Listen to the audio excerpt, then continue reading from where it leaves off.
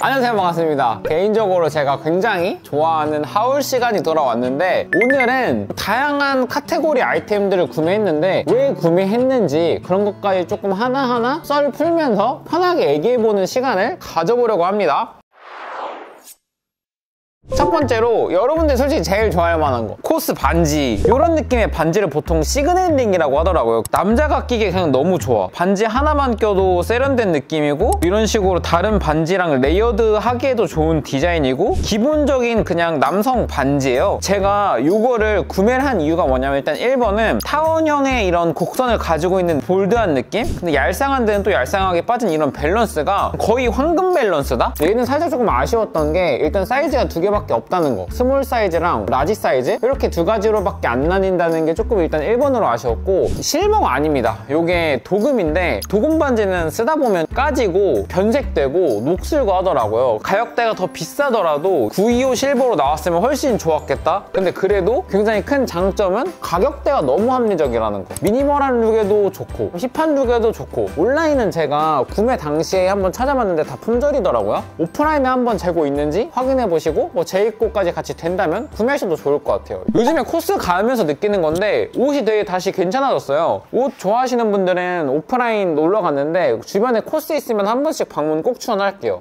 다음으로 소개해줄 잡화도 이것도 여러분들이 되게 좋아할 거라고 생각을 합니다. 이거 같은 경우는 옛날에 나왔던 카시오 모델을 복각한 거라고 하더라고요. 제가 카시오 시계 여러 번 사봤는데 만듦새가 솔직히 가장 좋아요. 이 베이스가 되는 몸판 소재도 솔직히 너무 깔끔하고 마감도 좋고 팔에 팔에 차는 이 metal bracelet도 실물로 보니까 여기가 너무 고급스러운 거야. 실제 만족도도 되게 높았고 요즘에 막 시계 뭐 차지 뭐 차지 하는데 뭐 street한 look에도 괜찮고 hip한 look에도 괜찮고 그리고 얘가 애초에 전체적인 소재감이 metal이다 보니까 은팔찌 느낌이라 다른 잡화류랑도 layering하기 좋더라고요. 얘는 좀 비싸게 나왔어요. 제가 구매한 가격은 10만 원 중반대로 알고 있는데 오프라인 발매가가 아마 20만 원 초반대일 거야. 그래서 혹시라도 영상 보시고 구매하실 분들은 네이버나 이런데 그냥 잘 찾아보면 10만원 중반대에 있더라고요. 요거는 이제 또 여름이 지났다 보니까 네이버나 이런 데서 가죽줄 구매해가지고 줄질 하셔도 될 것 같아요. 음. 여러분들이 또 좋아할 만한 비니 소식입니다 비니. 오프라인 놀러 갔다가 보게 된 비니입니다. 바로 로우 클래식의 비니인데 로우 클래식 약수점 한번 남자분들 가보는 거 꼭 추천을 할게요. 로우 클래식이 여성복에서 되게 엄청 오래되기도 했고 잘 되고 있는 국내 디자이너 브랜드잖아요. 확실히 오프라인 가보면 로우 클래식만의 무드가 되게 잘 담겨 있어서 좋더라고요. 무엇보다 더 좋았던 게 로우 클래식 미래 건물 1층에 보면 브런치 카페가 있는데 거기 진짜 맛있어. 빵도 그냥 대충대충 만드는 게 아니라 빵에 들어가는 뭐 이렇게 소스 간 이런 게 되게 다 잘 맞고 그냥 공장에서 찍어낸 듯한 느낌이 아니라 이거 하나를 되게 연구 많이 해서 내는 느낌이더라고요. 로우 클래식은 옷 구경하러 가기에도 좋고 1층에 있는 브런치 카페 가기에도 좋다 보니까 여자친구 있는 분들은 데이트 코스로 가기 되게 좋은 것 같아. 이거는 컬러가 브라운 컬러랑 아이보리 컬러 두 개 있었는데 잘 쓸 것 같은 거는 브라운 컬러였거든? 근데 색깔이 이게 이쁘더라고요 컬러 자체가. 아이보리 블랙인데 디자인이나 컬러 자체가 이게 예뻐서 이거를 구매했어. 저같이 머리 큰 사람도 쓸 수 있는 비니입니다. 이거는 디자이너분이 이런 실루엣이나 이런 fit감을 의도하진 않았을 거예요. 제 머리 둘레나 이런 게 너무 크다 보니까 이런 fit감이 나올 수 있다는 거. 비니인데 보헤미안적인 전체적인 문양이 들어가 있어서 어느 정도 요즘 트렌드랑도 되게 잘 맞고 울 비니다 보니까 그냥 따뜻하게 겨울 동안 잘 쓸 것 같더라고요. 착용감도 되게 편하고 까슬거리지도 않고 되게 따뜻해서 겨울에 쓸 이런 좀 포인트 비니 찾고 있던 분들 보통 이렇게 포인트 비니를 구매하게 되면 뭐 이렇게 아크테릭스라던가 등산 브랜드에서 나온 고프코어 느낌 나는 비니들이 많을 텐데 보헤미안 트렌드 이런 느낌이 되게 잘 맞는 비니라서 저는 개인적으로 굉장히 만족하고 있습니다.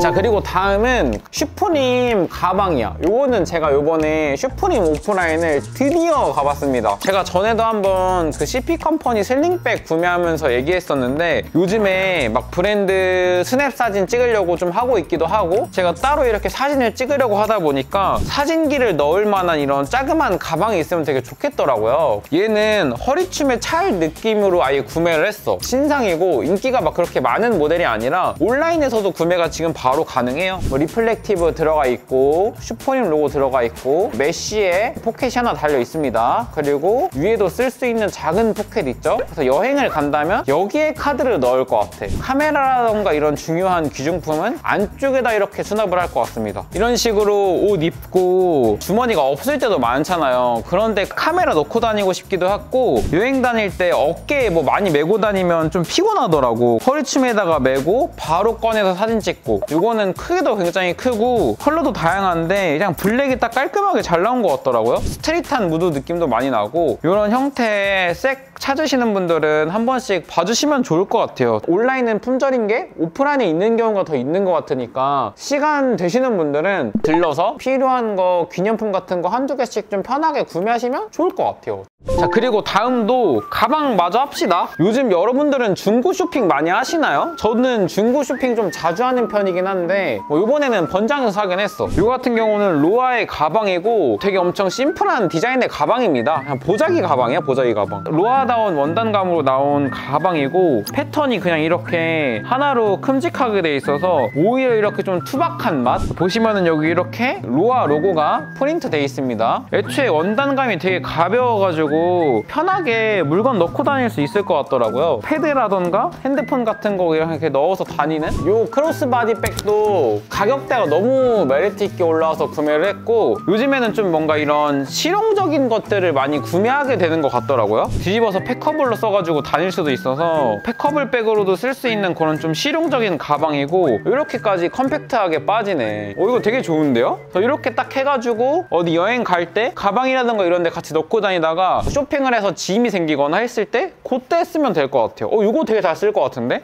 자, 그리고 다음으로 블랭크룸의 후드 zip-up인데 이거는 네오프렌 소재로 나왔습니다. 이런 네오프렌 소재가 예전에 유행했던 소재잖아요. 한창 이렇게 유행을 안 하다 가 블랭크룸에서 미니멀하고 깔끔하게 후드 zip-up을 냈더라고요. 사이즈는 이 사이즈로 샀습니다. 사이즈가 1, 2, 3 나오는데 3 사이즈는 너무 크고 너무 hip한 느낌이더라고. 이 사이즈도 충분히 딱 세미 오피스로 예쁘고 군더더기 없는 느낌이라서 이 사이즈로 저는 구매를 했어요. 실루엣도 되게 예쁘게 잘 살아서 체형 보정도 되게 잘 되고 네오프렌 소재가 요즘에 많이 안 나오잖아요. 그러다 보니까 오히려 유니크한 거야. 사실은 이런 느낌으로 후드 zip-up이라던가 저지 하나 사고 싶었던 게 이세이미야케 걸 한번 입문해보고 싶었어. 근데 일단 가격대가 비싸기도 하고 입문하기가 어려웠었는데 물론 이세이미야케랑은 다른 느낌이긴 하지만 전체적인 궤는 나는 비슷하다고 보거든. 혼방 소재에 실루엣이 매력적으로 잡히고 저지 느낌의 이런 원단감이지만 미니멀하고 모던하고 contem한 느낌이 나는 가격대도 되게 합리적이었어서 만족스럽기도 하고 블랭크룸 옷들 여러분들 보시면 알겠지만 엄청 미니멀하고 깔끔해요. 그래서 여러분들도 한번 기회 되시면 오프라인 방문해 보시면 좋을 것 같고 판교 현백도 바로 옆에 보면 브라운야드 매장도 있어서 모던하고 contem한 스타일 좋아하시는 분들은 브라운야드랑 블랭크룸 보고 또 좀 young한 느낌, hip한 느낌으로는 쿠어까지 갇혀 있어서 이렇게 세 가지 브랜드 보시면 좋을 것 같더라고요. 예쁘죠?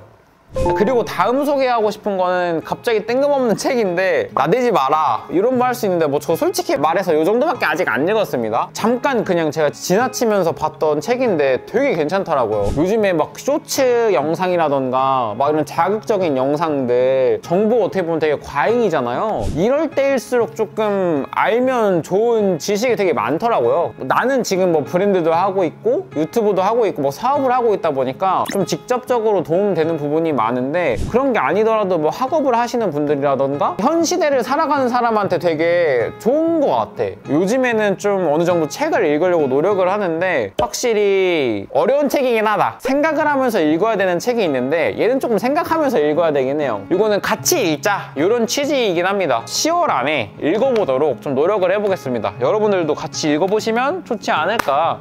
자 그리고 마지막으로 대망의 헬리녹스. 요즘에 제가 다른 취미를 가지려고 노력을 많이 하는 것 같아. 런닝 취미도 가지려고 하고 한 번 주말에 가서 한강에 캠핑 의자 피고서 쉬고 있는데 아, 너무 괜찮더라. 이게 열심히 일할 줄도 알아야 되는데 쉴 때는 또 제대로 쉴 줄 알아야 돼요. 쉼의 quality를 여러분들도 한번 챙겨보시는 걸 되게 좀 추천을 드리고 그래서 이거는 Helinox에서 구매한 Savanna Chair고 성수동에 로우로 가면은 Chair One, Two랑 뭐 Sunset Chair 이런 거 있는데 Sunset Chair가 제가 한번 좀 앉아본 보니까 조금 등받이도 낮고 앉은 키가 좀 되게 큰 편인데 뒤가 좀 불편하더라고요. 그래서 Helinox에서 큰 사이즈로 나오는 게 Savanna Chair라 요거로 하나 더 구매를 했습니다. 오, 와 이거다. 아 이게 진짜 편하긴 하네. 아니 팔걸이도 되는데 이게? 어 이거 진짜 괜찮다.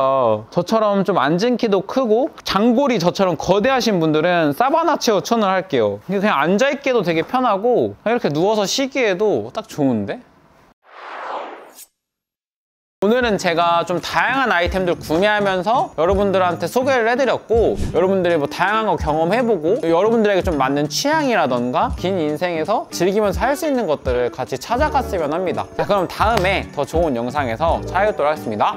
안녕 PRT PRT샵 온라인 스토어에서 플래시 세일을 진행합니다. 24일 목요일부터 27일 일요일까지 해외 브랜드 제품에 추가 20% 할인이 적용되니 많은 관심 부탁드립니다.